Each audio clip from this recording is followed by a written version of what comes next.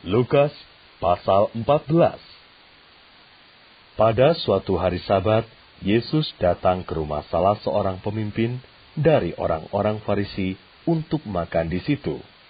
Semua yang hadir mengamat-amati dia dengan saksama. Tiba-tiba, datanglah seorang yang sakit busung air berdiri di hadapannya. Lalu Yesus berkata kepada ahli-ahli Taurat dan orang-orang Farisi itu, katanya, Diperbolehkankah menyembuhkan orang pada hari Sabat atau tidak? Mereka itu diam semuanya. Lalu ia memegang tangan orang sakit itu dan menyembuhkannya, dan menyuruhnya pergi.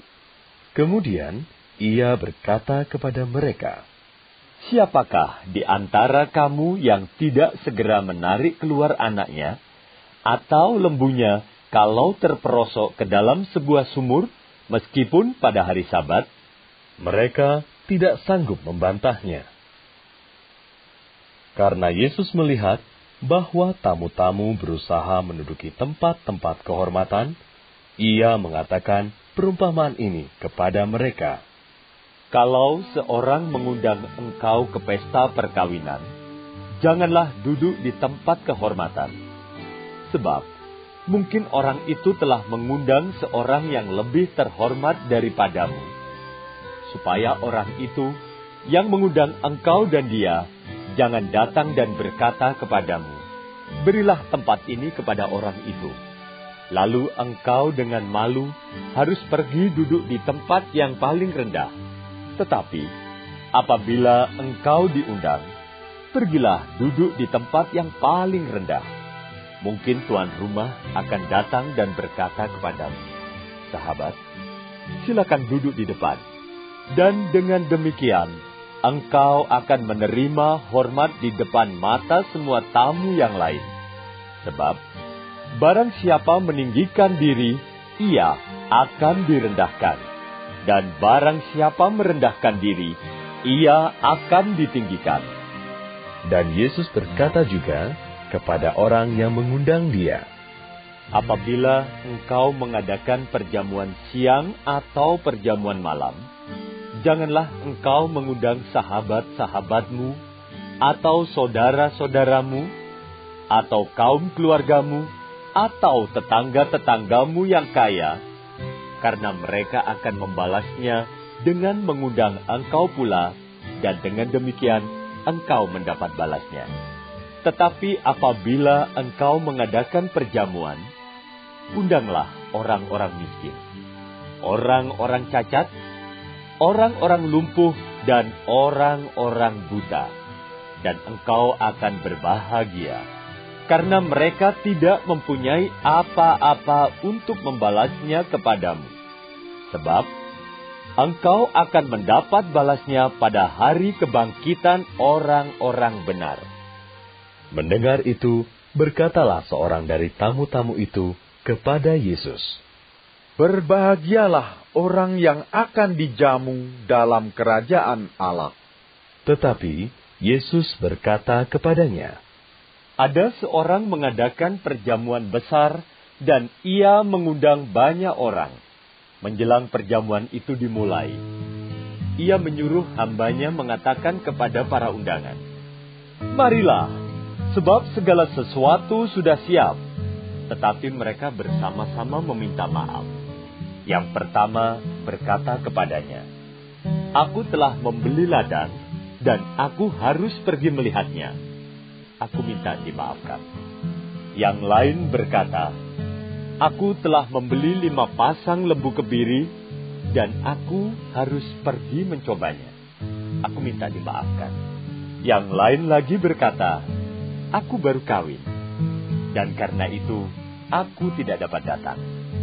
Maka kembalilah hamba itu dan menyampaikan semuanya itu kepada tuannya. Lalu murkalah tuan rumah itu dan berkata kepada hambanya, Pergilah dengan segera ke segala jalan dan lorong kota, dan bawalah kemari orang-orang miskin, dan orang-orang cacat, dan orang-orang buta, dan orang-orang lumpuh. Kemudian hamba itu melaporkan, Tuan, apa yang Tuhan perintahkan itu sudah dilaksanakan. Tetapi sekalipun demikian, masih ada tempat.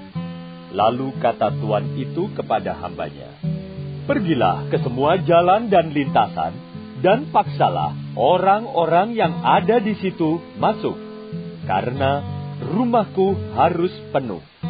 Sebab aku berkata kepadamu, tidak ada seorang pun dari orang-orang yang telah diundang itu akan menikmati jamuanku. Pada suatu kali, banyak orang berduyun-duyun mengikuti Yesus dalam perjalanannya. Sambil berpaling, ia berkata kepada mereka, Jikalau seorang datang kepadaku dan ia tidak membenci bapaknya, ibunya, istrinya, anak-anaknya, saudara-saudaranya laki-laki atau perempuan, bahkan nyawanya sendiri, ia tidak dapat menjadi muridku. Barang siapa tidak memikul salibnya dan mengikut aku, ia tidak dapat menjadi muridku. Sebab, siapakah di antara kamu yang kalau mau mendirikan sebuah menara tidak duduk dahulu membuat anggaran biayanya? Kalau-kalau cukup uangnya untuk menyelesaikan pekerjaan itu, supaya jikalau ia sudah meletakkan dasarnya, dan tidak dapat menyelesaikannya. Jangan-jangan semua orang yang melihatnya mengejek dia sambil berkata, "Orang itu mulai mendirikan, tetapi ia tidak sanggup menyelesaikannya." Atau raja manakah yang kalau mau pergi berperang melawan raja lain tidak duduk dahulu untuk mempertimbangkan apakah dengan sepuluh ribu orang ia sanggup menghadapi lawan yang mendatanginya dengan dua puluh ribu orang? Jikalau tidak, ia akan mengirim utusan selama musuh itu masih jauh untuk menanyakan syarat-syarat perdamaian. Demikian pula lah, tiap-tiap orang di antara kamu yang tidak melepaskan dirinya dari segala miliknya, tidak dapat menjadi muridku. Garam memang baik tetapi jika garam juga menjadi tawar, dengan apakah ia diasinkan? Tidak ada lagi gunanya, baik untuk ladang maupun untuk pupuk, dan orang membuangnya saja. Siapa mempunyai telinga untuk mendengar, hendaklah ia mendengar.